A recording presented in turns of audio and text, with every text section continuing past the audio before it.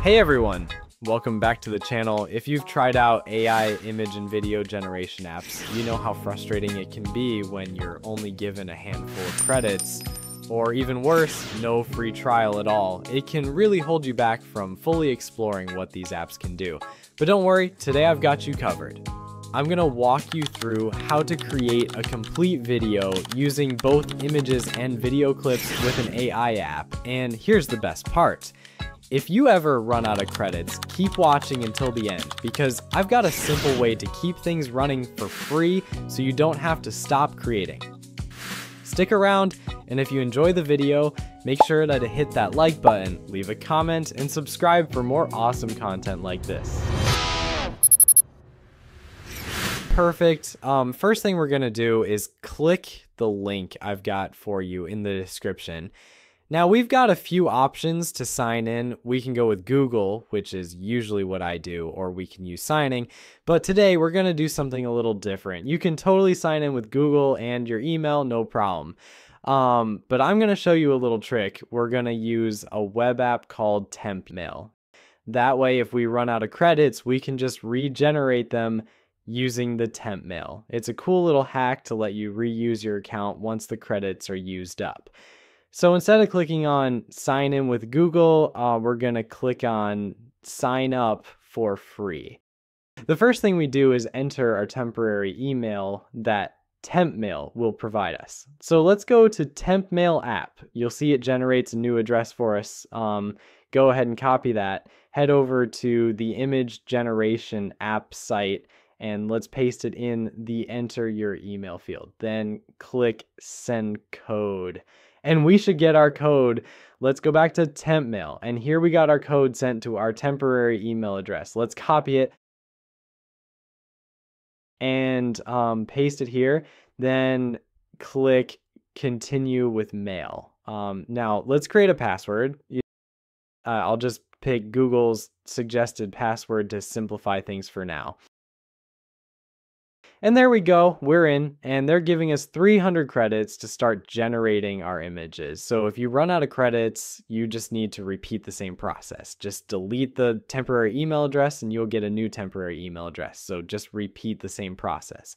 Now, let's see how our app works. I'll create a sample image of a cute little kitten with sunglasses. I just made a prompt in ChatGPT. If you want to learn how to create awesome image prompts, check out my video. I'll drop the link in the description copy your prompt, paste it in. Let's select our image model. Um, we have two options here, Flux Dev and Flux Schnell. I'll go with Flux Schnell. Let's close this and head back to our prompt field. Hit generate.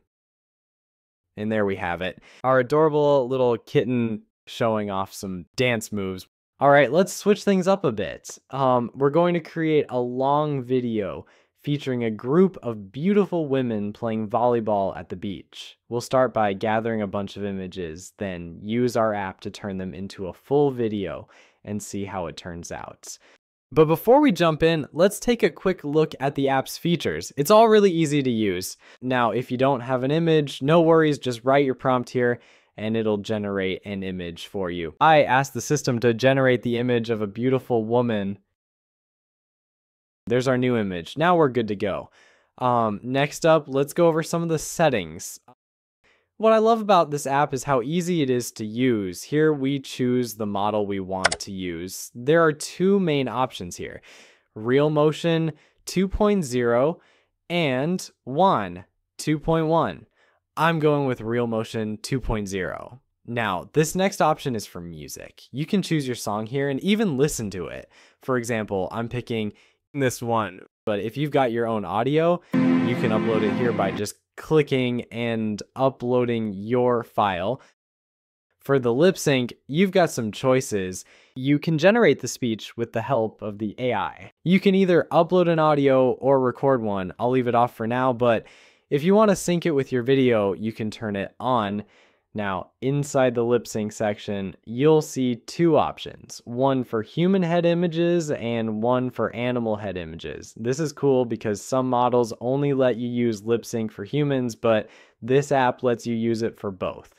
Um, you can use lip sync with animals too, which is a nice little feature that sets this apart from others. Um, for this video though, um, I'm skipping the lip sync because I don't need it. Next, we just put in our video prompt. It's super simple. Now, in the control section, we can adjust whether we want a 5 second or 10 second video. I'll keep it at 5 seconds for this test. To remove the watermark, you'll need to be on the paid plan, but I'm leaving it as it is for now.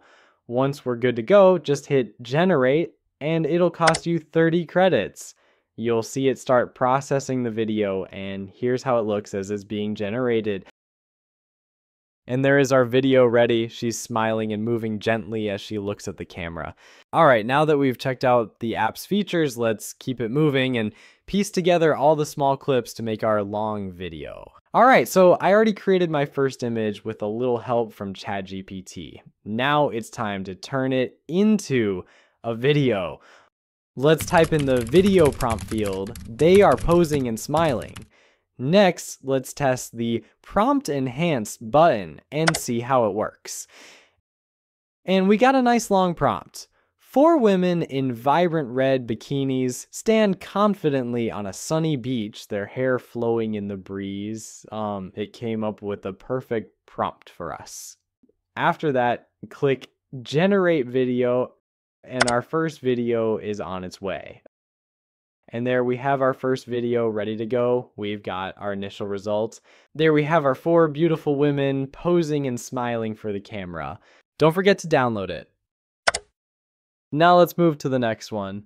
All right, let's keep going. Now we're going to upload our images. So the first thing we need to do here is upload the photo that we've generated. It's uploading now, and there it is. We've got our image ready to go. All right, let's quickly check out our settings. For the model, we're sticking with Real Motion 2.0. For the music, I'm gonna keep it quiet, so I'll just select no music, no lip sync either. For the prompt, I'll type in, she is aiming to smash a volleyball.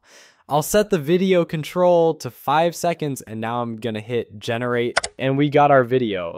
In the prompt, I wrote, she is aiming to smash a volleyball. And it's following the ball, but it's not perfect. No worries though, download it and let's upload another one. The idea here is to generate multiple images so you've got a nice stock of footage to work with and then we can go ahead and edit them. Let's upload another one and generate it again. We've got another image. This one isn't bad at all. Let's see how the video turns out. The video looks good. However, there is an extra ball that pops up here, but don't worry, we can regenerate the video. Now, uh, check this out. These are some of the videos we've generated. We can open them and see what they look like. Uh, some of them have the ball and some don't. You can grab clips of three or four seconds from your stock footage to put together and make your final video, and that's it. We got some great footage now to work with. Now, let's check out our video.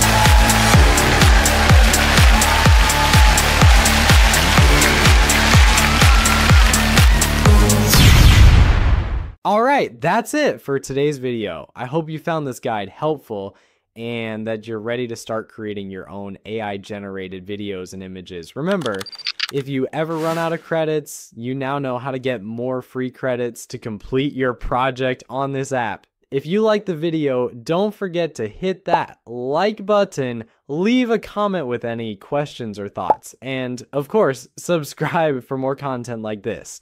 Thanks for watching, and I'll see you in the next one.